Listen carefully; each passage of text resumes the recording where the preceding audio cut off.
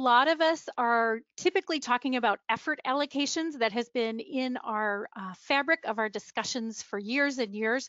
Um, and sometimes when we talk about allocating other materials, uh, we lose that connection, but it's kind of the same thing. Anything that is a resource to a project has to have an allocation method. Um, and we sometimes talk about things being fully allocated to a project, and sometimes only a portion of what that cost uh, the cost of that resource is can be allocated. So we're going to talk about what that means about an allocation. So just the piece of the pie. Uh, some early thoughts on best practices, but just as an introduction, uh, we think this is both a pre-award and a post-award issue.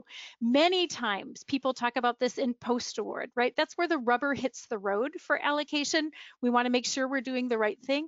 But in pre-award, if you are a pre-awarder out there at the webinar, this is just as much you because you set up the plan in order to be able to work through that allocation later in post-award. So the planning part is all you.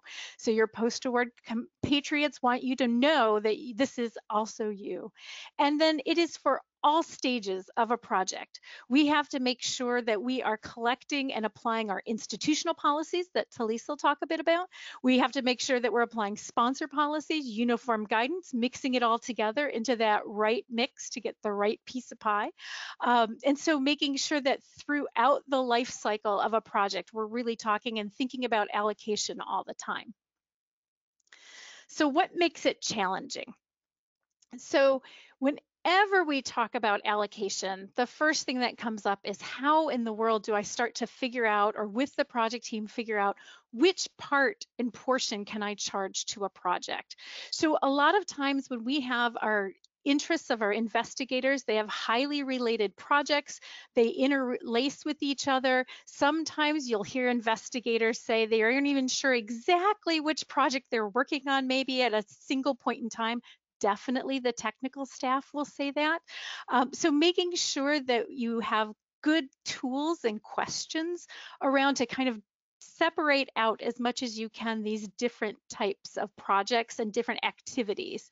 Uh, another thing that makes allocation difficult is thinking about funding sources. Often we immediately talk about sponsored projects. We think about, I can charge this to a project or that, forgetting that maybe some of that allocation is to our own institution. And so thinking about all the disparate funding sources we have at our disposal that we have to keep balanced. So making sure that that's on the horizon and making sure we're keeping track of all of those. And then figuring out how we can determine a way to split things up, but thinking really about where is the benefit happening? How do you define benefit? Um, a lot of times in conversations with investigators, they may associate benefit with a goal of the project as opposed to the benefit of time. So thinking through this benefit process is important. And also remind, remembering that things change. What we decide today is not necessarily what's going to be true a week from now, a month from now, and definitely not a year from now. So watching that time horizon is going to be also important. Hey Heather, I just wanted to yes. add a couple of things uh, that that I was writing as you were talking. This cost benefit relationship is so foundational to what we do. And that is really how we can defend how costs can go somewhere.